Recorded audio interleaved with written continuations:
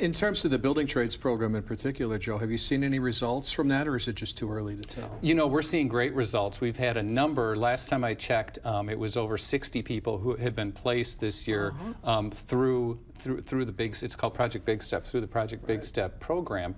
Um, because what we do is we have various trades, you know, the electricians, the, the, the, the, the steel workers, other folks will have apprenticeship fairs, and people who think they're interested um, in the trades will come and they'll learn about the profession.